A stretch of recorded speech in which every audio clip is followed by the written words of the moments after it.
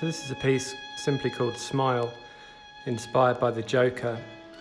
It was initially going to be purely based on The Dark Knight, uh, with the brilliance of Heath Ledger.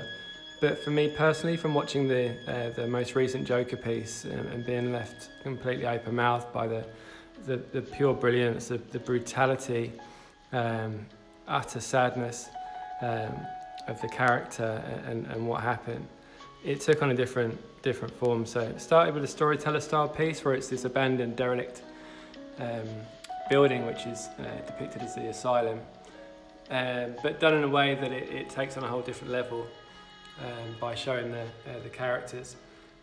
So it's, it's a classic darkness and light that I love to work with uh, and showing how close that they can reside um, within a person, within a building, within the four walls. Um, and it's that was the, the aim was, was to do something really, really dark, really beautiful, um, but, but in a, a completely different way through showing the, the characters and, and touching on, on just, just the, the battles that are going on within their heads um, and what that can lead to.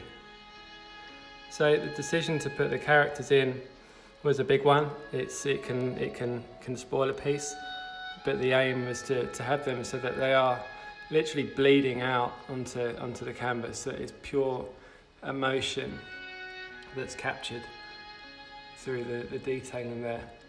And, and that's the idea being that with this asylum that it's, it's so difficult to leave, but so easy to return. Um, and that, that takes on, a, on several different um, meanings, but it was showing that, that contrast between the, the pure sinister side of of the Heath Ledger character where he's absolutely seething in the shadows. Um, but then there's com complete contrast to go across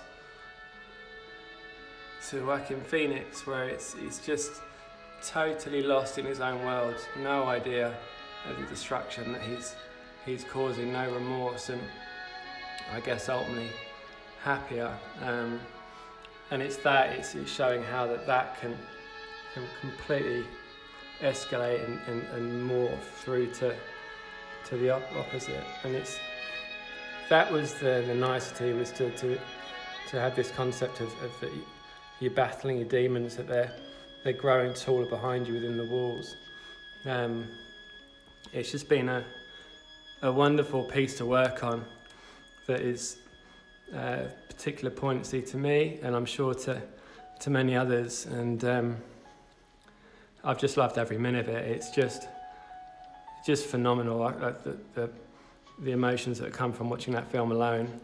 Um, I hope you love it, and and hopefully I've conveyed what I'm trying to to put out there because it's um, yeah powerful.